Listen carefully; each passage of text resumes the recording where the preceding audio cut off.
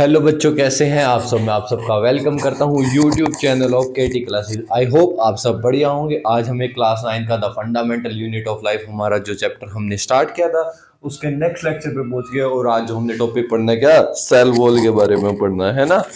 ये वीडियो क्या सामने सब कुछ लिखा हुआ है और मैं क्या समझाने की कोशिश करूँगा, क्योंकि लास्ट वीडियो में क्या हुआ था?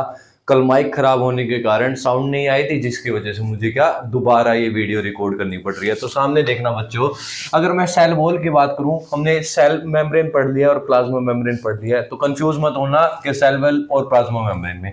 फिर भी मैं एक डिफरेंस आपको लिखवा दूँगा, जिससे आपको कहानियाँ और क्लियर होंगी।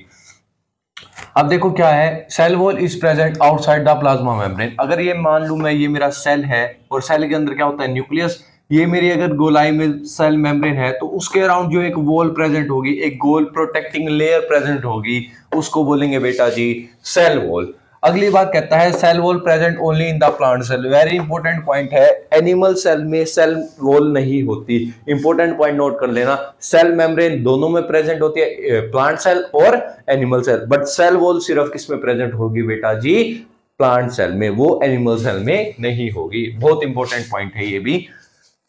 नेक्स्ट पॉइंट कहता है the cell wall is made up of cellulose material मतलब जो हमारी सेल मेम्ब्रेन थी, वो किसकी बनी हुई थी बेटा जी? वो बनी हुई थी प्रोटीन्स की और लिपिड्स की। लेकिन अगर मैं सेल वॉल की बात करूँ, वो बनी होती है किसकी? सेलुलोज मटेरियल की। अगला पॉइंट कहता है in cell wall non living cell are present cell membrane में कौन से प्रेजेंट थे? Living cell but cell wall किसकी बनी होती है? Non living cell cell wall permeable in nature देखो, हमारी सेल मेम्ब्रेन कैसी थी? मैं कंपेयर कर रहा हूँ दोनों को। सेल मेम्ब्रेन थी सेमी परमेबल नेचर की, लेकिन हमारी जो सेल वॉल है परमेबल इन नेचर है। फ़ंक्शन क्या है? मेन देखो इट प्रोटेक्ट द सेल ये प्रोटेक्ट करती है सेल को। कैसे? जरा ध्यान से देखना। सबसे पहले देखो, अगर देखो सेल है, मान लीजिए मेरा सेल है, उसकी तरफ़ अगर मैंने वाटर भर दिया, उसकी तरफ़ कैसे ही मैंने पानी भर दिया तो क्या होगा? पानी अंदर जाना शुरू होगा।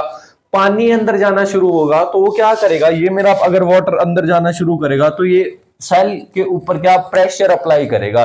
सेल के ऊपर प्रेशर अप्लाई करेगा और उस प्रेशर को बोलते हैं turgor pressure the pressure applied by the water on the cell is called turgor pressure वो प्रेशर क्या होता है? टर्गर प्रेशर अब जो टर्गर प्रेशर है, वो क्या करेगा? सेल को बाहर की तरफ़ धक्का मारेगा। अगर सेल वॉल प्रेजेंट नहीं होगी तो बेटा जी, वो सेल क्या हो जाएगा? ब्रस्ट हो जाएगा, टूट जाएगा। अगर सेल वॉल प्रेजेंट है तो क्या फ़ंक्शन करेगी वो? उसको कहते हैं the property cell wall the property of cell wall to protect the bursting of the cell, जो सेल को ब्रस्टिंग होने से बचाती है, उस सेल वॉल की प्रॉपर्टी को कहते हैं turgidity from the turgor pressure अगर टर्गर प्रेशर ज़्यादा हुआ तो सेल ब्रस्ट हो जाएगा। लेकिन सेल वॉल के पास क्या प्रॉपर्टी है? टर्जिडिटी की। वो प्रोटेक्ट कर लेती है सेल को ब्रस्ट होने में। अगर एक एक्टिविटी में परफॉर्म करता हूँ बेटा जी, जरा ध्यान से इस एक्टिविटी को भी देख लेना। अगर मैं सेल को क्या करता हूँ, गर्म पानी में बॉयल कर देता हूँ। अगर मैं सेल को गर्म पानी में बॉयल कर देता हूँ तो होता क्या है बेटा जी? जो उसकी सेल वॉल है ना, वो ब्रस्ट वो टूट जाती है डिस्ट्रॉय हो जाती है। अगर सेल वॉल टूट जाएगी तो टर्गर प्रेशर बढ़ेगा तो सेल क्या हो जाएगा? ब्रस्ट हो जाएगा। क्यों? क्योंकि अब टर्जिडिटी कहाँ से आएगी? क्योंकि सेल वॉल है नहीं। वही मैंने लिखा है।